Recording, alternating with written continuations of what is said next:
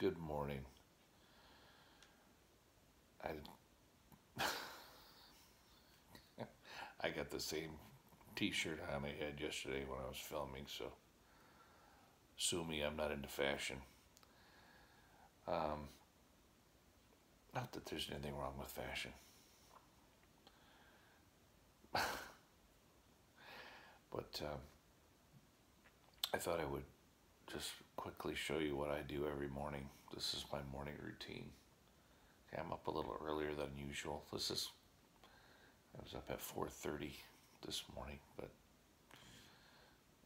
that's what I used to do all the time when I was younger. I'm sleeping in a little more these days, but um, anyway, look, this is what I do. I read the Bible every morning. Okay, this is my home. There's my Bible. I'm reading the Psalms this morning. I'm reading Psalms 119. It's my favorite.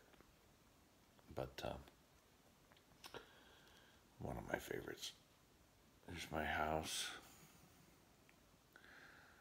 This is a humble home.